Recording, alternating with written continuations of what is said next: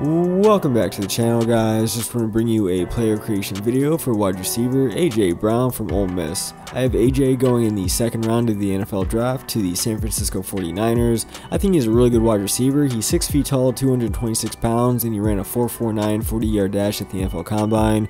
He catches really well, especially in traffic and contested plays as well, and he's a good route runner. So I think overall he's a really good wide receiver and he'll be a good pickup for whoever picks him in the NFL draft. If he goes in the first round, I won't be surprised because a team like the Titans or the Redskins could definitely use a wide receiver like AJ.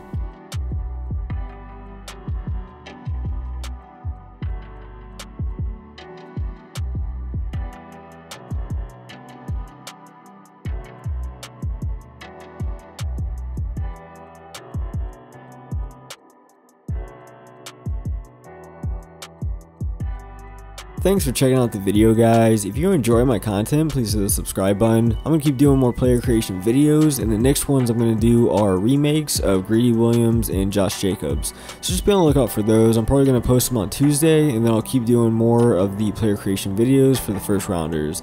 I appreciate all the suggestions you guys have been giving me and all the feedback. I'm going to try my best to get to all the ones you guys are uh, suggesting before the NFL draft. So just be on the lookout for more of my videos. I hope you guys have an amazing day.